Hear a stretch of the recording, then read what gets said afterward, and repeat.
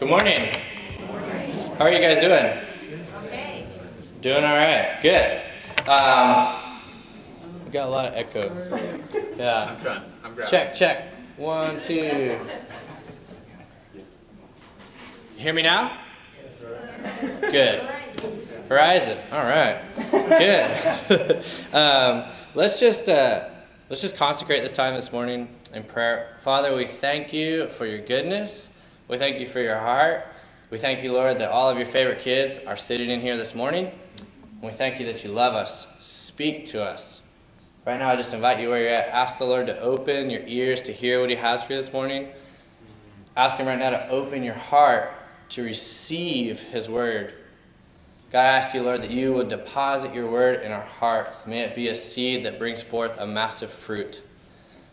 We love you. In Jesus' name, amen. Amen. I think it sounds good. Yeah. Does it sound good? Good. Okay, cool. Uh, well, my name is David Morrison, and it is such a privilege to be with you guys um, with Extreme Nazarene. Got my buddy Reverend Nathan Roscom over here. Um, I love to highlight Reverend um, because I'm not there yet, so I love to honor the people above me. That's great. Um, so, yeah, want to first just begin by thanking you, Pastor Curtis, for allowing me to be in your pulpit um, without really knowing me. That is a, a mighty honor. Uh, you have placed your trust in me, and I, I, honor you, and I promise to not let you down. Um, don't you guys love your pastors? Yeah? Good. Good. Um, well, buenos dias. Buenos dias. Do you have that slide up there? Uh, so I was a missionary in Ecuador for two and a half years, and this is how we would begin every service. We would say, ¿Cómo estamos? Which means, how are we doing, right? So I'm going to say, ¿Cómo estamos? And you guys are going to respond how we would respond in Ecuador. I'm going to say, ¿Cómo estamos? And you guys are going to say, bendecidos, blessed, prosperados, prospered, y en victoria, and victorious, right? In victory, okay? So I'm going to say it, right? I want you guys just to repeat after me real quick. Bendecidos, Bendecidos, prosperados, prosperados, y en victoria. y en victoria. All right, so you guys, well, first you gotta believe it that you're you're blessed, prosperous. All right, so one more time. Bendecidos, Bendecidos, prosperados, prosperados, y en victoria. y en victoria. right, ready? I'm gonna say "Cómo estamos," and you guys are just gonna go all three at the same time. Ready? One, two, three. ¿Cómo estamos? Bendecidos, prosperados, y en victoria. Bravo! Round of applause for you guys. That was great. Um, so I just wanted to share a little bit about myself before we head into the Word, uh, just to give you some history. So I grew up. I am a third generation Nazarener, um, as you could call it. Uh, my father is a Nazarene pastor, and his father was a Nazarene pastor back in the almost the founding days of the Church of the Nazarene. Um, so rich heritage. Um, so I love the church. I love what God is doing in the church and I love that we are all the church. Um, I have two brothers. I'm the middle child there, the cream of the Oreo. Um, I'll be the last to get married, but I'm ready for that. I'm excited. Um, yeah. Next picture. I spent most of my late teen years and my young adult years touring around the world in a in a heavy metal Christian band called For Today. Um, literally, I know someone's like, heavy metal Christian, how does it blend? But God will use the arts to reach our generation, and He is doing that. Um, toured to 18 countries all over the world um, for eight years, and that band is still going today. Um, next picture there, there's just some places that we, we would minister in. Um, we were in Paris the day that there was a uh, it was a Harley Davidson uh, rally at the Eiffel Tower, and they were burning flags and everything. Where they're just being Jesus, ministering to people. Um, so that is that is some of my history and some of the things I was able to do. A touring in the band, we saw sick people healed, saw blind eyes open, you name it. Um, so let me just say today, there's an open heaven over this place. Um, yesterday I was at what they're calling the, the beginning of the third great awakening in America. It was called Azusa Now, 110 year anniversary for the Azusa Street Revival. Um, and there, there's been a shift in America right now, and you guys are in it. So welcome. Welcome to the third great awakening. It's exciting. Um, I want to share with you guys a little bit about my story, um, and I hope that it touches your heart. And um, I know that the Lord has a story for every single one of us, and He's still writing it.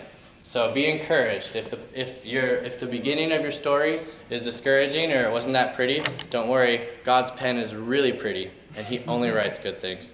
Um, and we were on tour, and it was April 2012, and the Lord spoke to me audibly, clear as day, and He said, "David, you're going to be a missionary." And I honestly said, What? um, and we were praying at a show for kids. We were praying for teenagers that, that, that as we played, the Lord would move and many people would be reached for Christ. Uh, I said, What do you mean? Or, uh, is, what is that? And he said, You're going to be a missionary. He Just confirmed that. It was six weeks later in prayer. We, finished our tour there, and then we toured Europe and got back and just sought the Lord day after day. I said, God, with who? Where do I go? Why? And then he said, You're going to go to South America in September with Extreme Nazarene. So, next picture there. Um, gave up my musical career, uh, gave up earthly success um, and a strong ministry to go and do exactly what the Lord told me to do and be a missionary with Extreme Nazarene. So that is a picture of Ambato, Ecuador. Everybody say with me, Ambato. Ambato. That's, man, you guys have a really good accent. Is that a California thing? Okay, because I have preached in North Dakota, and when we do.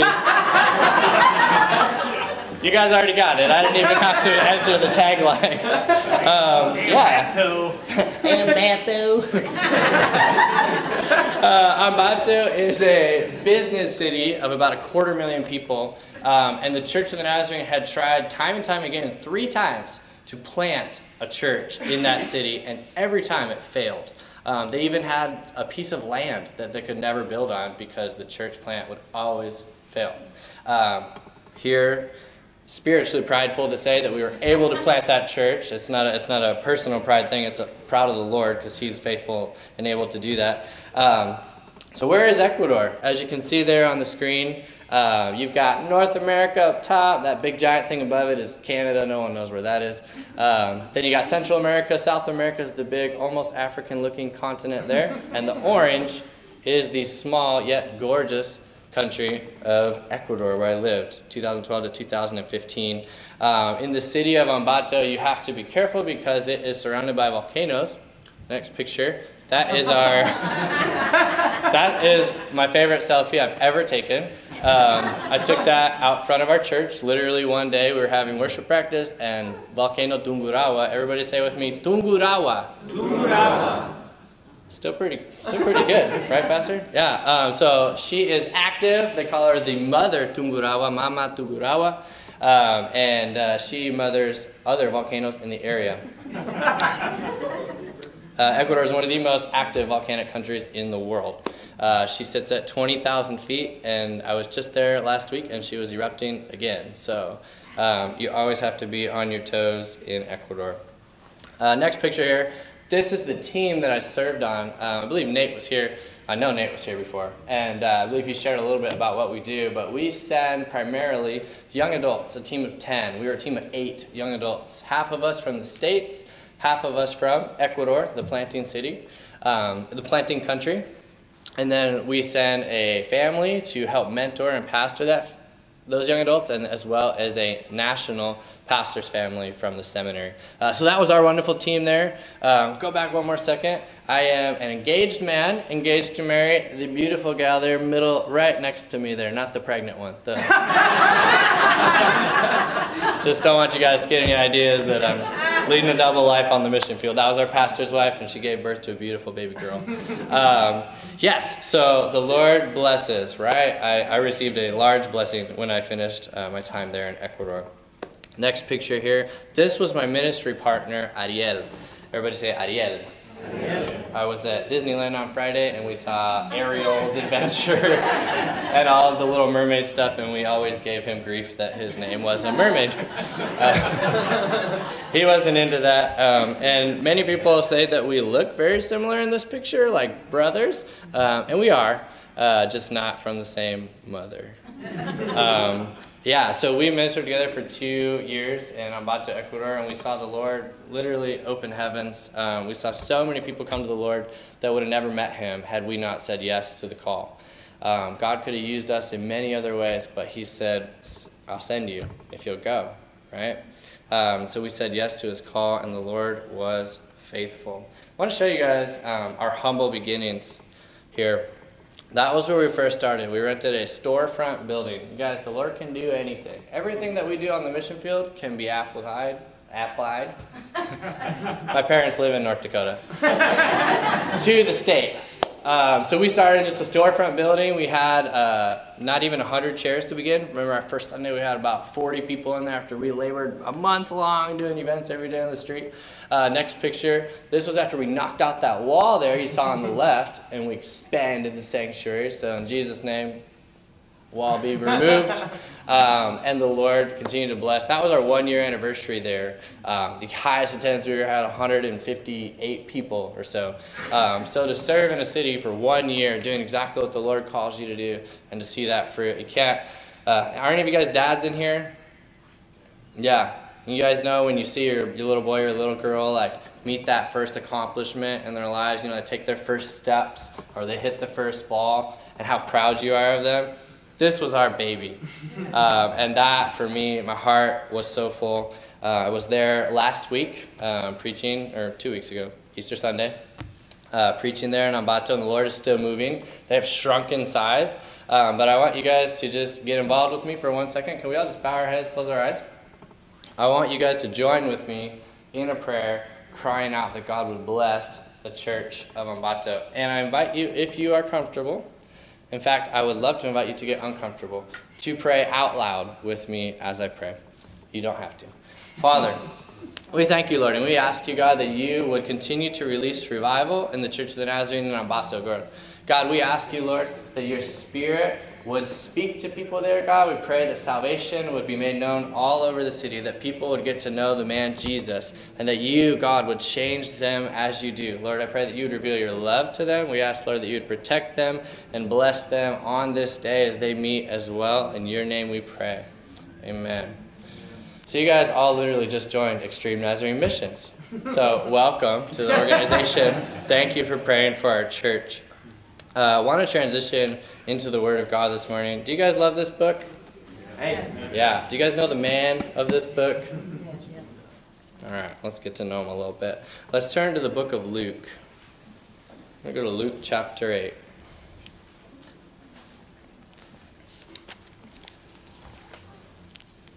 I can't tell you guys how excited I am to be here. Yesterday I spent, it was 15 hours uh, without a single break worshiping the Lord and crying out for revival in America in LA at the Coliseum. There's 100,000 people.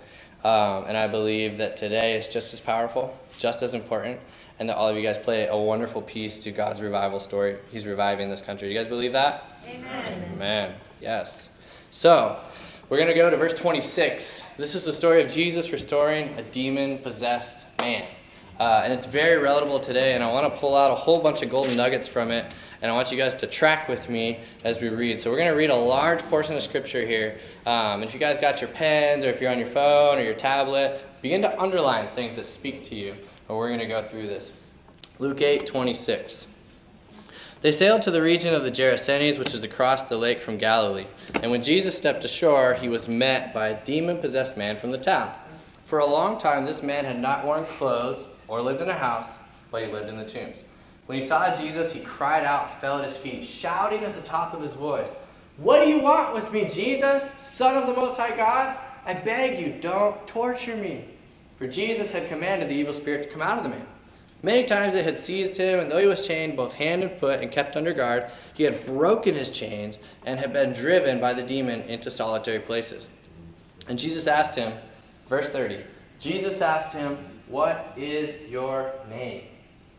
Legion, he replied, because many demons had gone into him. And they begged him repeatedly not to order them to go into the abyss. So maybe you guys know the rest of the story here. It says a large herd of pigs was feeding there on the hillside. And the demons begged Jesus to let them go into them, and he gave them permission. When the demons came out of the man, they went into the pigs, and the herd rushed down the steep bank into the lake, and they all drowned. Poor little piggies. When those tending the pigs saw what had happened, they ran off and reported this in the town and countryside, and the people went out to see what had happened. When they came to Jesus, they found the man from whom the demons had gone out, sitting at Jesus' feet, dressed and in his right mind, and they were afraid. Those who had seen it told the people how the demon possessed man had been cured. Then all the people of the region of the Gerasenes asked Jesus to leave them because they were overcome with fear. So he got into the boat and left. The man from whom the demons had gone out begged to go with him, but Jesus sent him away, saying, verse 39, Return home and tell how much God has done for you. So the man went away and told all over town how much Jesus had done for him.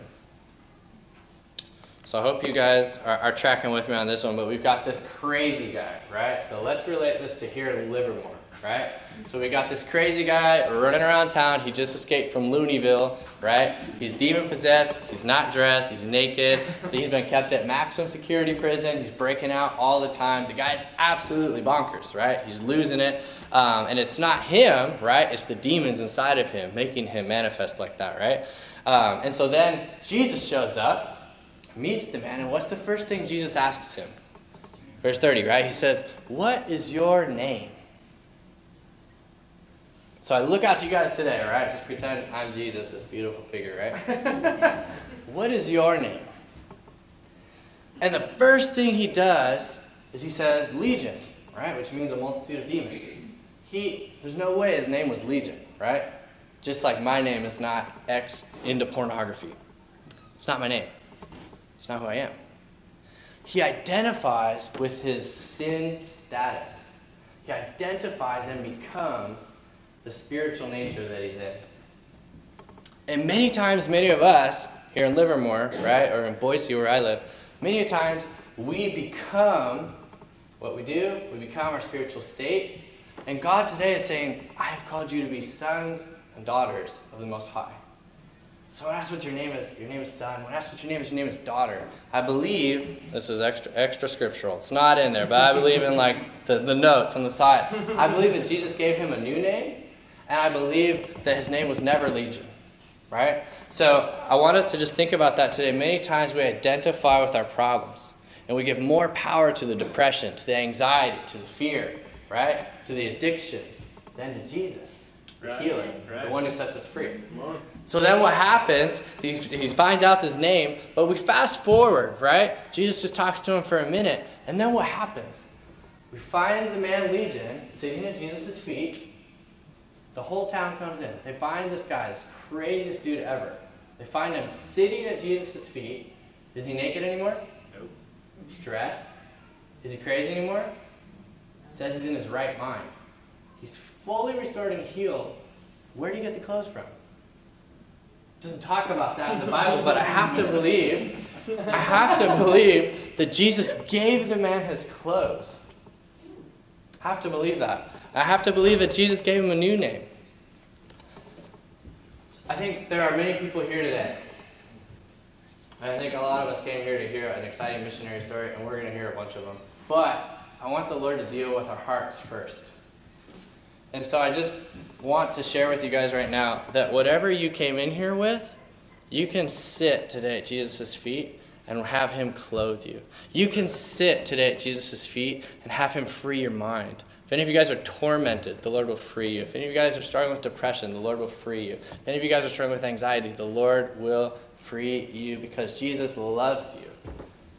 And you are not who you once were says, If any man comes to Christ, he is a new creation. The old has gone, and the new has come. Do you guys believe that with me this morning? Yes. And say amen. amen. Amen. So then what happens to Legion, ex Legion, right? We'll call him ex Legion. So ex Legion comes up to Jesus afterwards and says, I want to go with you in the boat, right? The pig happens, all that stuff. The town's not very happy because they were a commodity. And he says, I want to go with you. And what does Jesus tell him? I like that face. She's like, mm-mm. mm-mm. Jesus like, mm-mm. No. Jesus says, I want you to stay and tell everyone about what God did for you today. And so for me, uh, I was not demon possessed, praise the Lord. But I can relate to part of this story. When I finished my time in Ecuador, I was asking the Lord, I was crying out to God. I said, God, send me to Cambodia. I want to go. Send me to Cambodia. I had, I thought I had a really good plan. And God said, no. God said no, and He told me to do almost the exact same thing. He said, I want you to go back to the States, work with Extreme out of Idaho. That was the literal wording. But then my, my, my calling after that, God has said, I want you to go and encourage the church. I want you to go and tell the church what I'm doing, and I want you to send the church. So that's what I'm here to do this morning. But I want you guys to know, and so why would this happen? Why would Jesus tell him to go and testify? If you know the, the four gospels, you know that to almost everybody else, Jesus said, shh. Right? Jesus was like, don't, don't tell anybody what's going on because they were, they were, the Jews were going crazy. They were trying to make him king, right, by force. And it wasn't time. Jesus kept saying, it's not time for me to be glorified. It's not time yet. But this man over there by the Gerasenes, this was not a Jew. This was a Gentile. We today, probably, I would, I would gather most of us, are Gent. I personally am a Gentile, right? I mean, that means non-Jew.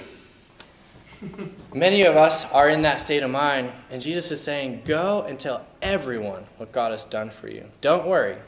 Don't worry about what could happen to you. Go and tell everyone about what God has done for you and why. Why did he tell them to do that? Because Jesus brought the gospel for all. Jesus brought the good news for everybody. There's not, you can't wear bad enough clothes. You can't have a status that's unreachable by God. You can't live in a neighborhood that Jesus doesn't want to come and meet. Jesus would go to these places on purpose to meet the people that the church said they are not allowed in. They're unclean, is what the Jews would have called them. They are not grafted in. They cannot be saved by God. And Jesus said, I will come and I will save them. And he meets one and he changes his whole life. He gives him this clothes off of his back, right? Because we know Jesus didn't carry the extra bag. It's what he told his disciples to do. Um, he gives him the clothes off of his back. And then he sends it back. He says, Go and tell everybody in the town.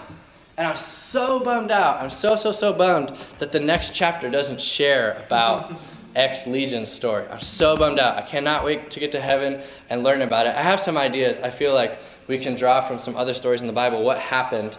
Um, but what happens, guys, when you testify, I think this is on the screen. When you testify, you release faith, literally, for that same thing to happen again right? So, whatever the Lord frees you from, whatever fear He releases you from, anything that you're struggling with, and the Lord breaks that off, when you testify and tell someone that, when you say, Pastor Curtis, I got a testimony, I heard uh, you shared a praise today, that's awesome. It helps us all be able to believe that that same miracle that happened to you or that happened to Grandma Joanne can happen to me. So, I want to encourage you and charge and exhort you, church, testify. Share what the Lord is doing in your life. And I, this was not, I, just wanted to share this too. In, in John 4, you don't even have to go there, but in John 4, Jesus meets the woman at the well. Also, a Samaritan woman should not, does not belong in the church at this point in time. The Jews basically hate her. She's steeped in all sorts of sin. She's got all sorts of different dudes she's sleeping around with. It's a mess, right? Jesus knew all of it, and she's, she's shocked. But then what does she do? She goes back to the Samaritan village and shares about what God did to her. I'll just read you this really quick. John 4:39 says, "Many of the Samaritans from that town believed in him because of the woman's testimony." And she said, "He told me everything I ever did." So when the Samaritans came to him, they urged him to stay with them, and he stayed 2 days. Because of his words, many more became believers. And they said to the woman, We no longer believe just because of what you said. Now we have heard for ourselves, and we know that this man really is the Savior of the world. So, what happens is when you testify, you release like the first wave. When you testify, you release that initial faith for people to believe. But then they got to get to know the source. Then they got to get to know the man who did it, right? So, like when God frees you from that, you share that with someone who doesn't know the Lord. I promise you, your testimony will impact your friends, will impact the people in your workplace, and will impact your family because you are a real person and you deal with real everyday issues. And maybe not all of you were ex drug addicts, or maybe not all of you have this crazy story where God freed you from prison. I met some people from the Cali Colombia drug cartel a couple weeks ago, um, a couple of our friends of mine now. Um, who the Lord literally did free out of prison, and, and he had the prison guard lead them to the Lord, and just the craziest story you could ever imagine, right? That'll preach anywhere. that guy could get on stage in front of a million people and have everybody weeping because the story is insane. But you guys might not be able to do that, but the Lord is saying, I gave you a family. I gave you a workplace. I gave you kids, right? I gave you a neighborhood. That's your assignment. Go, right? Our lovely pastor's wife, I forgot your name. Jane. Jane read us out of Matthew 28, and it says, Therefore, all, all authority in heaven and earth has been given to Jesus. And it says, Therefore, go. So God's got all the authority, and He sends you guys to your places of influence. This lady inspired people by, their, by her testimony, but they were changed by the source. So that's what's going to happen. I know that will happen in all of your lives. I literally just declare right now that will happen in all of your lives. as you share the testimony with people, you inspire them. They will get fired up. They will believe that, that can happen to them. But then you need to lead them to the cross where they will meet the man. They will meet the source of that miracle in your own life. Inspired by the testimony and changed by the source. I just want to show for you guys real quick where this comes from before we go into a cool, cool story. Um, testify in the Hebrew, um, it it's not on the screen. I apologize about that. But in Hebrew, the word for testify is eduth, which means witness or to give account or evidence of something. That word comes from a primitive root word. I want you guys to all say this with me. Ayin vav daleth. He's just shaking his head. That's not happening. so that primitive root means to return, to repeat, or to do again. So in the Bible, when it talks about testimony, it's not just talking about sharing something that happened, past tense. It's talking about sharing something that happened and then also allowing everyone else to believe that that will repeat, return, or happen again. Amen? So when you share a testimony, you give an account. You are evidence. You are testimony of something that happened. And you say, I believe it will happen again here in this place. Amen? You guys, you guys look really bored. Amen? Good. So I was preaching in Ecuador last week, and it's it's loud when you preach there. Amen! They just yell. So praise the Lord for our differences in volumes. Um, David was a testifying man. That one is on the screen. Uh, Psalm 107 too, right? It says, Let the redeemed of the Lord say so, whom he has redeemed from trouble. It's saying, if God has redeemed you, Tell someone. That's what it's saying in 2016 English. Let those who have been redeemed of the Lord have permission to tell everybody. If God's freed you from trouble, go and tell the world. Well, you know that old Christian song, Go Tell It on the Mountain, Over the Hills, and Everywhere, you know, right? I didn't want to sing that song this morning because we don't need that. But it's just so old and it touched my heart a long time ago. But I think God's releasing a new song through his children today, and it's called Your Testimony and He wants you to share it with people. So I challenge you to do that, to not hide what the Lord has done for you, to share it with others, to retweet it on your Twitter, everything that you must do to get the word of the Lord out. Amen? Amen. Amen. And then I want you guys, if you're dealing with something today and God's still writing your testimony, I want you to be encouraged that God is inviting each one of you to come and sit at His feet. Come and let Him dress you of the things that you lack and to let Him free the things that you need to be free from. Right. Jesus will do that for you even today. Amen. So be encouraged. All right. I want to share with you guys a really awesome story about a gal named Guadalupe. I believe we got a picture of her up there. Yes. Um, so that is me and Guadalupe on the other side there of the screen. She is just a cute little four foot, comes at a whopping four foot nine, I think. Um, so she comes up to about here on me. I saw her last week, gave her the biggest hug. Um, my, some of my friends call her uh, a teddy bear because she just is. She's just adorable. Um, but Guadalupe, I met her in 2014. We were doing an event in Ecuador called Love Extreme, where we're bringing a lot of people from the States, and maybe hopefully you guys can come uh, to these one time. We bring a lot of people from the States, and we just bless the communities that we're in. So we had doctors and nurses, and so we put on a medical clinic and so I'm translating at the medical clinic because gracias a Dios puedo hablar los idiomas. Praise the Lord, I can speak two languages. Um, my friends in the back, I know they understood me. uh, we met earlier this morning. So I'm translating at this medical clinic. Let's go back to Guadalupe. I'm translating at this medical clinic. You see this whole just family from here on up come through. The little kids come through. We talk to them. They're like, my tummy hurts sometimes. So, you know, we give them some vitamins and, and it keeps coming through. And then you've got some adults come through, the parents come through, and then finally an older gentleman comes through, and then finally a cute little Guadalupe comes through. And she begins to share about how her life is just, just a mess. Whoa. It's just a mess. it's that bad.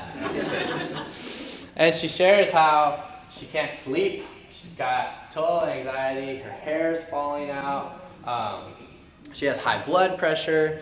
Um, she's having seizures, uh, lack of sleep, um, and her whole world is just kind of falling apart. And there was a reason for all of that, and we could just see the fear welling up in her eyes.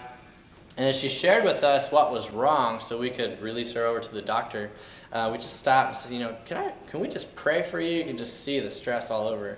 Um, she said, yeah, that'd be great. So we laid hands on her and we just prayed, you know, that God's peace would just overwhelm her. And it did. Um, and uh, with teary eyes, you know, she gave us a hug and left. And we said, hey, you know, tomorrow night we really want you to come to the Lalama Theater. We're having a large event that you cannot miss. It's going to be amazing. God's going to show up and he's going to touch everyone. And she was like, yeah, I'm, I'm going to bring my whole family. Well, the first rule of missions is to be flexible, and the second rule of missions is to not let yourself get let down. because you will invite thousands and thousands of people to things, and you'll see a few. A few will show up um, in, in, the long term. And so, you know, I thought oh, it'd be so great for Guadalupe to come to this event tomorrow, but I had no idea she'd actually make it. The next night, we had Pastor Fernay an ex-drug cartel member from the Cali Colombia drug cartel. If you know the story of uh, Pablo Escobar, the Cali cartel was the one that conquered his cartel and superseded them at one point, the largest cocaine dealing cartel in the world. Um, and he has since been set free from that. He works full time at the largest church in the Nazarene in the world in Cali, Colombia, and his testimony is used all over the world now um, to free the captives from sin we invited him to come and speak at Love Extreme. We've got a picture there of the event. Um, so those were the people standing up, raising their hands, saying, I want to accept Christ. I believe, God, that you love me. And if you changed him, you can sure, you can for sure change me. So Guadalupe was in that crowd. Her whole family shows up. She gets saved. We go out and we pray for everybody afterwards and we get their information. Next Sunday, first one in the doors, little Guadalupe. four foot nine, comes in, just smile on her face. We're so excited. We just prayed with her, and you know that God would really grow what He had planted in her life. So we fast forward to this day. This is a month later. Uh, literally, Guadalupe was the first person to show up for our pastor wife's birthday party in the church with uh, the other leaders. So it was just myself and another gal from our church plant there. And so when she came, she was sharing testimonies with me, and the other guy wanted to practice her photography skills, actually, and snapped this photo while she told me one of the most harrowing stories I had ever heard. She began to share with me about how her life and the reason why she was losing her hair and dealing with all these issues had gone downhill. And she said that several years prior, she used to work for a, a Catholic nonprofit credit union there in Ecuador. Um, it went really well, and her and the ladies that she worked with were really good at managing money, and they made their living on the side as well, and they worked up a savings. And one day she told the other gal, we should start our own credit union for profit, but helping less fortunate people. So they did that, and as you can see in her face, she's just a sweetheart, bubbling over with love to everyone she meets. She's our greeter at the church now. she just gives you a big shaking hug. But people ran her over um, and stopped paying their debts. And she did not want to employ anybody else to collect on the debt. She wanted someone as sweet and as nice as her to come and deliver a hug and ask for their monthly payment. So, yes. um, so she was having some issues and said, I went to the bank one day um, to talk about the mortgage on our house, and we had to remortgage it to keep this thing going. So I went to the bank one day, and they were sharing with us how we're going to lose our house if we don't get this thing fixed and straightened up. And in her house, keep in mind, she houses two of her daughters and four of her grandkids and her husband. Um, so it's very important that this house stays in the family. Long story short, she runs into a guy out on the street, a Colombian man. And this Colombian man was begging her for work. She said, no, no, no, I'm not into that kind of work. So you got to understand, there's a huge racial gap between Ecuador and Colombia. They're bordering countries, um, and the in the mountains where we lived, um, the the Sierra people, as they would call them, they believe that all of the crime in Ecuador is due to Colombians. Um, it, it's not true, and it, it's racist, but that is the general um, racial belief and slur there that Colombians are violent um, and drug traffickers. So she said, no, no, no, I don't want you collecting on my debts. I don't want any kind of that business. Next day, she gets a phone call from an unknown number. It's him. Hey, oh, hola, mamita. Hey, lady. Like, I need you to hook me up with a job. And she says, no, no, no, I'm not into that. Three days later, she's downtown, goes to the bank again. She sees him on the streets. And she realized he's a street kid. And so her heart was overwhelmed with compassion. She lets him move in. She says, I'll give you a job, but I'm also going to give you a roof. And I, so she said, I bought him a bed, I bought him a dresser, and I bought him a desk. We put him up in the side room of our house, gave him a job, he began to collect on the debts. People were paying up. Well, Guadalupe, because she owned her own credit union, which was just her, um, she stashed all of her life savings under her mattress when he would deliver the payments. And he lived with her for six months, and six months later, the $30,000, her life savings to pay off her house that she had stored under the mattress, were all stolen by the man that she welcomed in off the streets. So you can imagine her heartache, her pain, realizing that her kids and her grandkids might all be stuck on the streets of Ambato, Ecuador now because a man that she loved and let in betrayed her. So she's sharing this story with me here for the first time, literally, in this picture. And you can see the smile on her face. Um, because Guadalupe, after she met the Lord, found hope. But the reason why her hair was falling out, and the reason why her blood pressure went through the roof, and the reason why she was having seizures and couldn't sleep at night was because she didn't know how she was going to provide for her kids and her grandkids to have a, a roof over their heads anymore. So, fast forward after that, another two months later, Guadalupe comes up on stage and she says, Pastor, I want to share a testimony. and she shares a story that none of us knew about all the medication she was on before she started coming to church. And she said, you know, before I came to church, you know, before Love Extreme, I was having high blood pressure. I was going through seizures. I couldn't sleep at night. I had sleep apnea, like all these things going on. And she said, I tried all the churches in town. I tried the Jehovah's Witnesses. I tried the Mormons. Um, I went to the Catholic Church. And every time I went, there was just a weird spiritual vibe, and I, I just knew it wasn't right. And she said, but then when I came here in your church, I felt something that was so pure and so loving. And I said, this is, this is right. Later, she learned that that was the presence of God. Right? Amen? Um, and she said, I decided when I came in, if God really loves me this much, then he will heal me. And she said, so I stopped taking all of my medication when I came to this church. She had several different pills that she took every day. Um, and all of us are just sitting there like, wow, this lady is crazy. Uh, but she's awesome. And so she said, I stopped taking all of my meds. And she's sharing this three months later. And, you know, she's like, She's like, my skin tone has returned to its normal color. I can sleep at night now. My, you can ask my husband. He says my hair is all grown back, like everything. She had these bald patches. Um, and so the Lord healed her 100% from her faith. Amen? Right, right. right? You can give the Lord a hand for that. It was pretty cool. So, uh, fast forward now, it's over. Um, we're coming up, yeah, we're over a year now, and she still takes no meds. The Lord has totally healed her of all of her conditions prior. Um, so then you fast forward another month, and she shares a story about tithing. She said, You know, at these other churches I checked out, I had heard that you're supposed to give some money to the Lord. I didn't know why. And she said, You know, but my husband and I, we don't make a lot of money. But I thought, you know what? I want to be obedient with my tithe and start to give. so this is the same lady. Every like month or two, she just had a wonderful testimony. She said, you know, so I came with my husband Mario and I put our 10% tithe in the offering. It was $30, $20. And she said, that week, my husband and I made more money in one week at his painting job. That's what he does, painting cars, than we had ever made painting cars. He works on commission. So the Lord just began to bless them as well. So we're like, all right, this is amazing. God is changing her life. Remember the story of Legion? We sat down, you got clothed, you got a right mind. Let's keep going. So then, a couple months later, she comes back. She says, Pastor, I got a testimony to share. All right. so this is so good.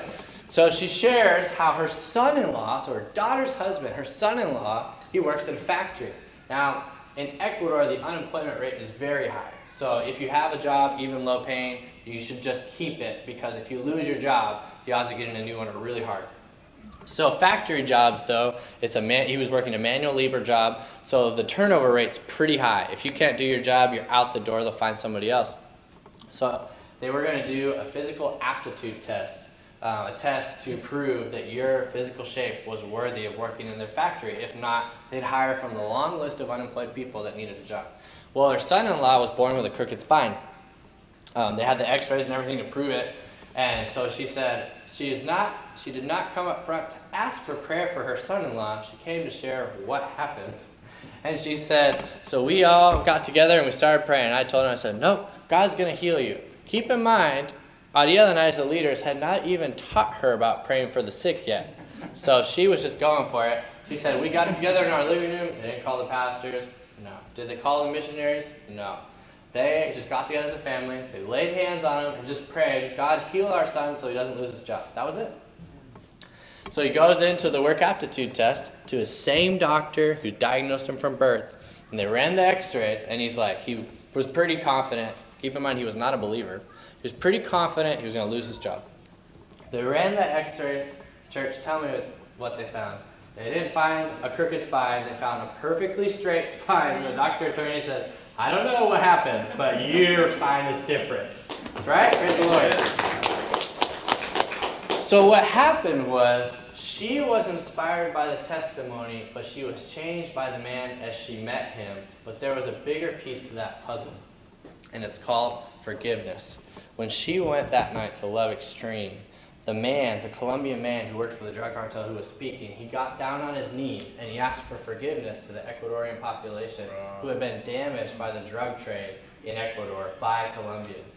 If you remember, it was a Colombian man who robbed her of her life savings, and she was holding on to so much bitterness in her heart, her body began to deteriorate. So that night, she didn't only receive forgiveness from her sins, she forgave the Colombian man who wronged her.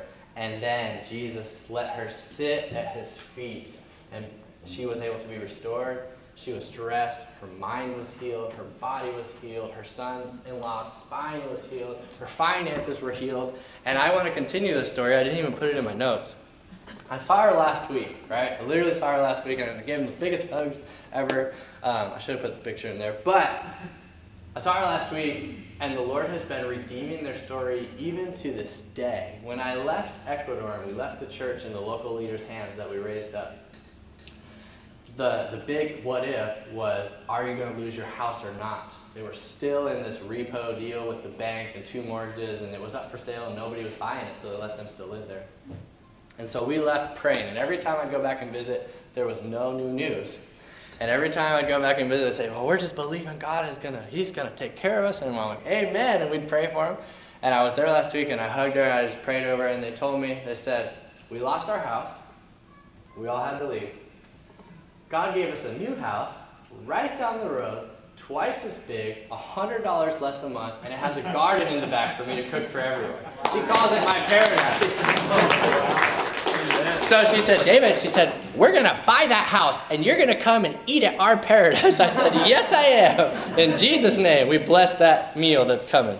Um, so that is, just, that is one of many of my favorite stories that God did there in Ambato. And I want those testimonies to inspire you guys. But I challenge you today, if you don't know the source, Right. If you don't know the man who hung there, that's not there anymore, who died and rose again on the third day, and he said, I got all authority. This is after he rose from the dead, right? He's like, I got all authority, therefore go. Today, we need to meet the man. Amen. So, when we talk about giving to missions, first we need our hearts to get changed. Um, so, I invite you guys to stand. Could you turn on just an instrumental song? Well, It's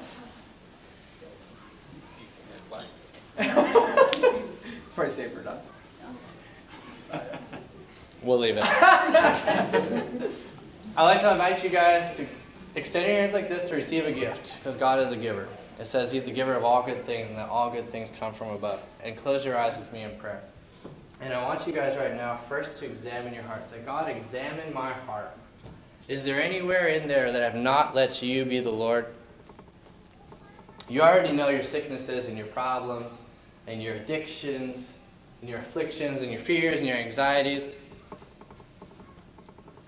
And I want you to say, God, sit me at your feet. Just wherever you're at, however you pray. Say, God, put me at your feet. God, clothe me. God, restore my mind.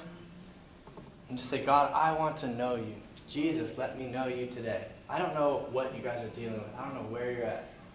I just say, Jesus, come and get to know your bride. Jesus, come and know your favorite children. They're here. Jesus, I ask you, Lord, to pour out healing over all fear and anxiety in this room. In Jesus' name, be gone. I break off right now every chain of addiction. Break off right now every chain of fear in Jesus' name. And I break off right now every fear of the unknown because God is a good God and He has good plans for His kids. He told that to Jeremiah, and we hold on to that promise today. Jesus, we ask you, Lord, to reveal to your children today the status of their hearts, but we ask you, Lord, to give them a new name. God, we ask you, Lord, to clothe them. We ask you, Lord, to restore their mind.